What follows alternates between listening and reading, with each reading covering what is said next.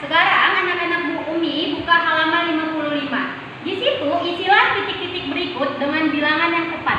Jadi Umi ini akan memberi contoh yang A ya nak.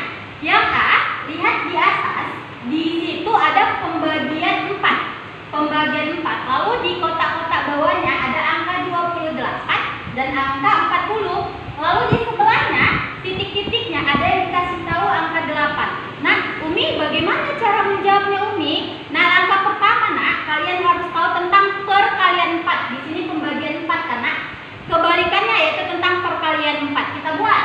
Di sebelah tabel ini kita buat dulu perkalian 4 atau penjumlahan 4. Habis 4 berapa nak?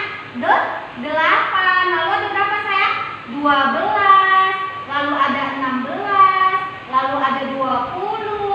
Lalu ada 24, 28, 32, 36 dan yang terakhir 40. Ke bawah kali nampak nih?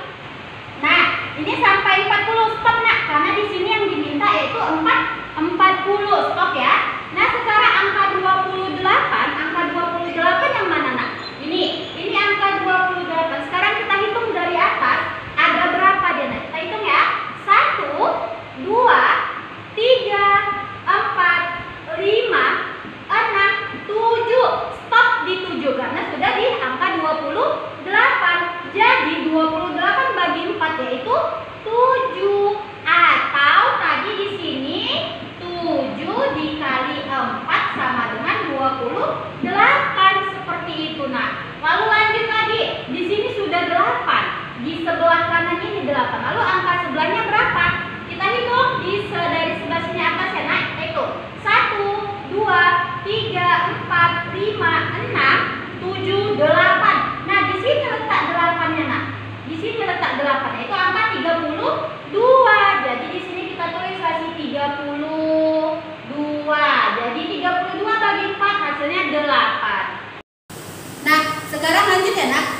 enam kok udah udah pasti di stopir ya, nanti bisa diri nah sekarang lanjut ya nak. Nah di sini ada titik titik titik titik tapi di bawahnya sudah dikasih tahu terakhir angka 40 sebelum angka 40 ada sih 36 nak.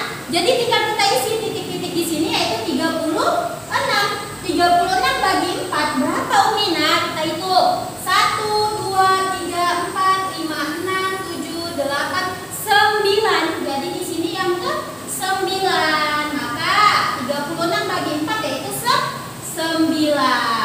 dan yang terakhir ada si 40 kalau si 40 tadi habis 9 langsung ke ini dia yang ke 10 jadi 40 bagi 4 yaitu 10 Nah, nak, jadi pembagian ini kalau kalian sudah hafal perkalian sebenarnya tinggal langsung gampang, nak. Tapi kalau kalian belum hafal perkalian, langkahnya seperti ini dan jawablah seperti kotak-kotak ini saya tinggal diisi-isi. Jadi anak-anak umum yang paling penting kalau mau tahu pembagian kalian harus hafal dulu perkalian.